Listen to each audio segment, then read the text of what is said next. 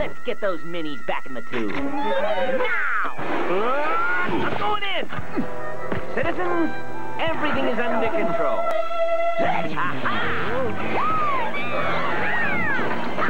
You can bill M&M's for that.